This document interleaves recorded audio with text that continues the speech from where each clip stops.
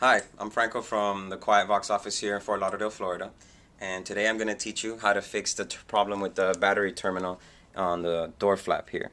As you can see, when we close it, the battery actually pushes the positive terminal away from the battery, causing it to not cause any connection, and so we don't have power.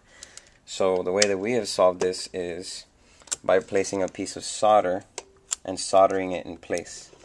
It has to be metalwork acid core solder. And this will actually bind to the steel within the device. So first cut a little piece. And you could just drop it in. And with the solder, you go in and you melt it. A little careful, bounce it around. Be careful with the plastic because it will melt it.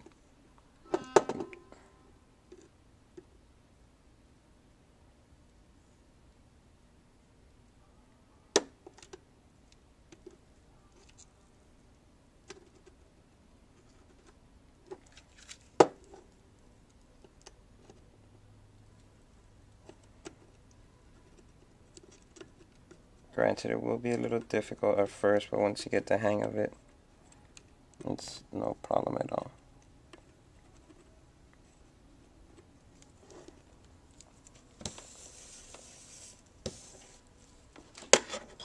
Give it a second to cool.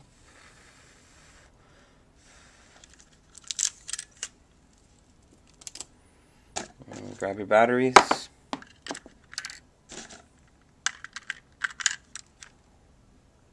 And now we have connection. So the battery turns on, the device turns on.